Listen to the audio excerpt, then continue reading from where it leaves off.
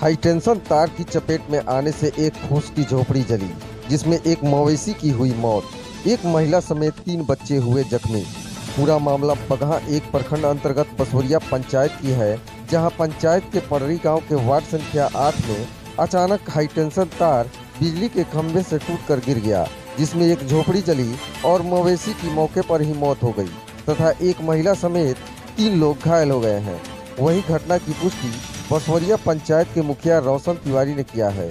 उन्होंने बताया कि हाईटेंशन तार गिरने से एक झोपड़ी में आग लग गई, घर में मवेशी बांधी गई थी। एक मवेशी की जलकर मौत हो गई।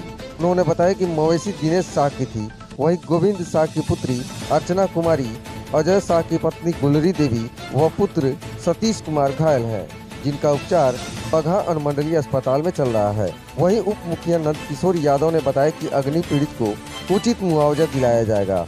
वहीं बिजली विभाग के कनीय अभियंता ने बताया कि घटना की सूचना मिली है। बिजली विभाग की टीम पहुंचकर जाँच कर रही है। पीड़ित को उचित मुआवजा दिलाया जाएगा।